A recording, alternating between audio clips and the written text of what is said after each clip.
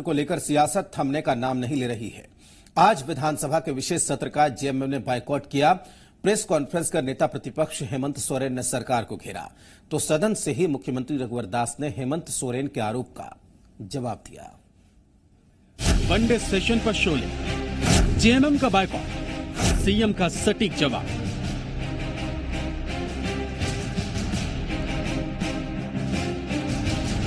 तेरह सितंबर को नए विधानसभा भवन में झारखंड विधानसभा का विशेष सत्र बुलाया गया।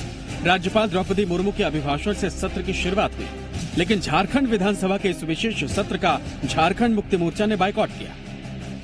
जेएमएम के विधायक सदन की कार्रवाई में शामिल नहीं हुए। जेएमएम के बाइकआउट की वजह जान लीजिए।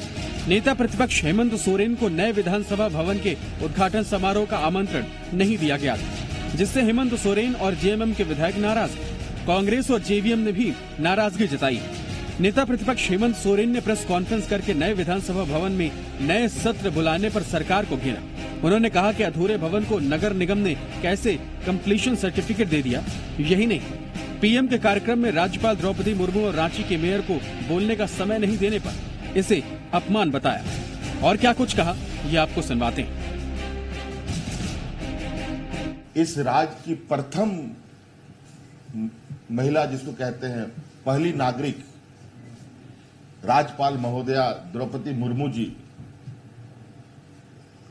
क्या उनको कोई संबोधन करने का मौका मिला, अपनी भावनाओं को रखने का मौका मिला? और प्रोटोकॉल में, रांची में मुख्यमंत्री के बाद मेयर आशा लकड़ा जी का स्थान आता है।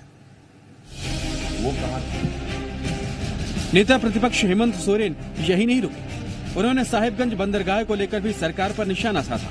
कहा कि बंदरगाह के लिए एक सौ इक्यासी एकड़ ज़मीन अधिग्रहण होनी लेकिन अब तक मात्र तिरसठ एकड़ ज़मीन ही अधिग्रहित हुई। इसमें भी कई लोगों को मुआवजा नहीं मिला है। बंदरगाह का उद्घाटन हुआ। जेएमएम कार्यकारी अध्यक्ष ने प्रधानमंत्री नरेंद्र मोदी के उस बयान पर भी तंज कसा जिसमें उन्होंने झारखंड को जन योजनाओं का लॉन्चिंग स्टेट बताया था। हेमंत ने कहा ये लॉन्चिंग नहीं बल्कि लिंचिंग प्रदेश बन गया है जो गंभीर मसला है। प्रधानमंत्री जी ने झारखंड को लॉन्चिंग पैड बोला है। लॉन्चिंग पैड कि लिंचिंग पैड बन गया है। ये तो पहले से ही लिंचिंग पैड बना पड़ा है। रोज कुछ ना कुछ आज भीड़ तंत्र ऐसा हावी हो गया है। क्या हो रहा है, मुझे समझ से परे झारखंड विकास मोर्चा के अध्यक्ष बाबूलाल मरांडी भी जेएमएम के सुर में सुर मिलाते नज़र आए। बाबूलाल मरांडी ने पूछा, जब इतने खर्च के बाद सत्र बुलाया तो जनता के हित के लिए लंबा सत्र रखना चाहिए था। पीएम नरेंद्र मोदी का रांची दौरा सिर्फ़ चुनावी स्टंट।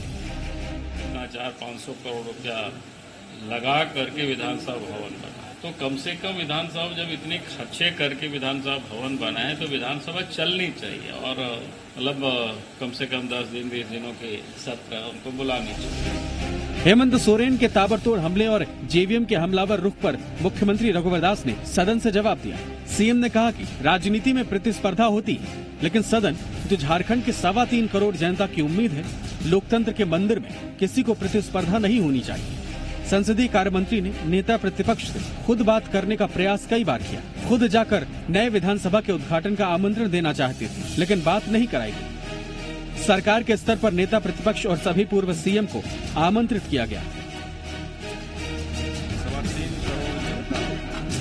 कि जो आकांक्षाओं का एक प्रतीक, जो हमारा लोकतंत्र का मंदिर है तो सदन ने संदेश दिया कि हम सब मिलकर सत्ता पक्ष हो विपक्ष इस राज्य को विकास की नई ऊंचाई में हम दलगत भावना से ऊपर उठकर राज्य का सर्वांगीण विकास का संकल्प लें।